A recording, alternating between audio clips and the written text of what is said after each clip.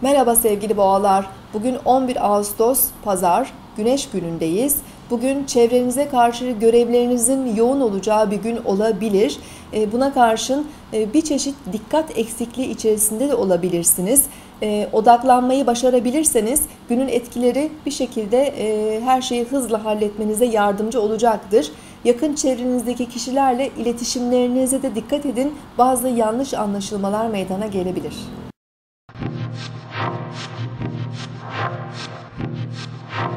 Burcunuzu dinlediniz. Bugün 11 Ağustos Pazar. Güneş günündeyiz. Ay terazi burcunda ilerliyor. Denge, uyum ve huzur arayışına daha fazla dikkat çekiyor. Bugün ay açıları gün içerisinde e, biraz gergin. O nedenle dikkatli olmamız gerekecek.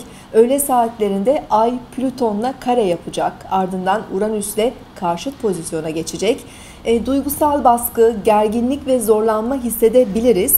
Ay-Uranüs karşıt açısı ilişkilerde ani duygusal değişimler, iniş çıkışlar oluşturabilir. Bazı noktalarda kopuşlar meydana gelebilir. Jüpiter karesi de söz konusu. Bu da duygusal tepkileri arttıracaktır.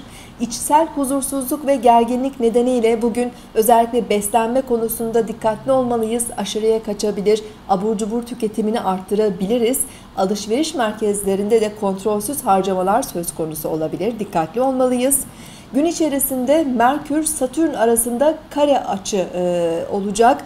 Bu da özellikle hem e, iletişimlerde sorun çıkaracaktır. Kendimizi ifade etmemizi zorlaştırabilir. Bunun yanı sıra seyahatte olanların, yolda olanların da dikkatli olması gerekiyor.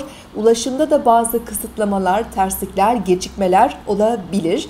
Bugün şartları çok fazla zorlamamaya çalışmalıyız. Yarın görüşmek üzere. Hoşçakalın.